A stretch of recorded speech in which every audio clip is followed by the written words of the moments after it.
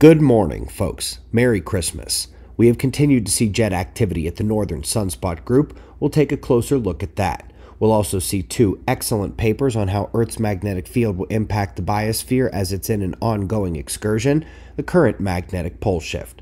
We're also going to see one of the expected weather manifestations with this ongoing blizzard, but we're starting with our star and we find that C class flares have continued, but also continued to somehow avoid sending plasma our way. The solar wind from the coronal hole stream is beginning to wane back along with geomagnetic disturbance, another coronal hole up north there the dark patch.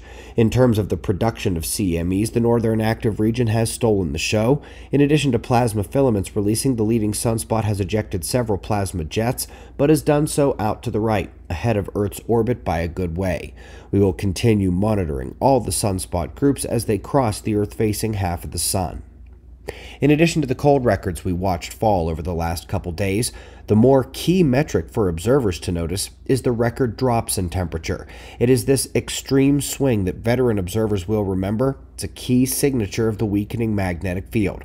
We expect heat, cold, drought, and flood, and extreme shifts between them, much more extreme than in the past. This was the cold version.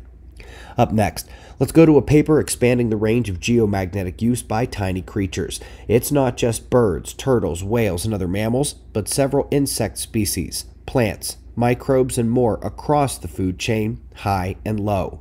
When the magnetic field changes to a greater degree, it will be a triple whammy on these creatures extreme weather shifts, increased radiation, and navigational struggles, as is the focus of this paper and on one of those points. An outstanding one here on the 12,000 year cycle and 6,000 year half cycle events 48 and 42,000 years ago. Not only do they expressly state that changes in Earth's magnetic field, like those ongoing now, will have titanic impacts on the environment, but it's been a while since we've seen the mainstream journals hit both the 48,000 and 42,000 years ago events in the same analysis. We are 12,000 years from the last magnetic excursion, 6,000 years from the last half cycle event, and we're getting ready to see them reset now. Don't forget, come out to our Cheyenne event on January 7th. We're kicking off the new year with our first stop in Wyoming since 2014. Get tickets below the video and also check out the Earth Disaster playlist to learn more about these 6,000 and 12,000 year events, especially, as we mentioned, since they are both resetting right now. Also, if you didn't catch yesterday's videos, you do not want to miss the top story in the journal, so check those out as well. We greatly appreciate your support. Subscribe, and we'll do this all again tomorrow.